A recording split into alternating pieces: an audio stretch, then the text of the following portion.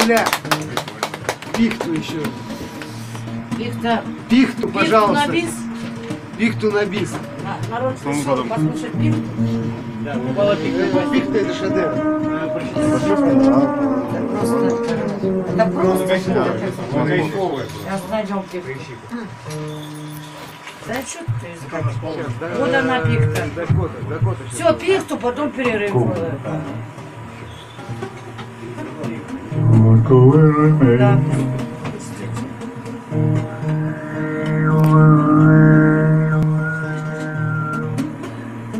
Сейчас, подожди.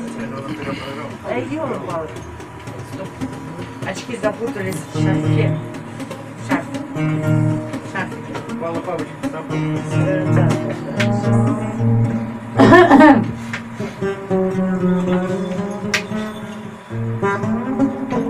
Глаза не стоит открывать, а то увидишь, что попало.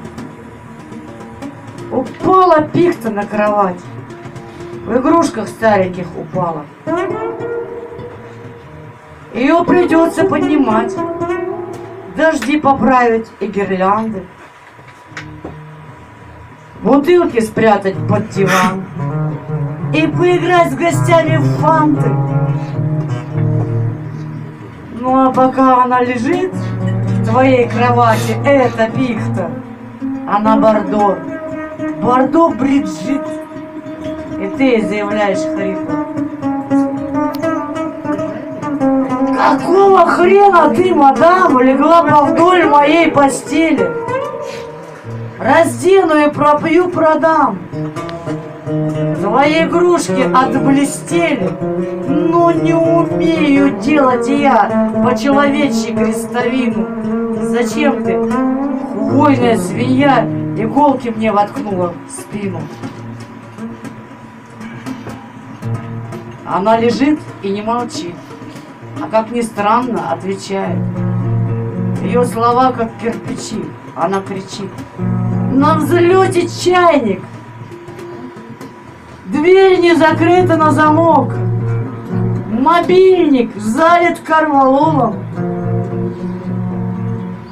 Портрет Луиса Карвалана в полеводном тазике промок.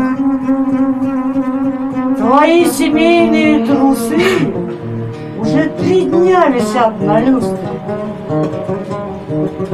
Валеты, дамы и тузы с окурками морской капусте забыли, где колода карт. А в домино играет кошка. Ты говорит, дегенерат, а то ума совсем немножко. И ты, встречая эту речь, немедля поднимаешь пихту. Все выключаешь, чайник, плитку, и обещаешь ей беречь ее и даже ее мать. Лишь только бы она молчала. Но все случается сначала. Упала пихта на кровать.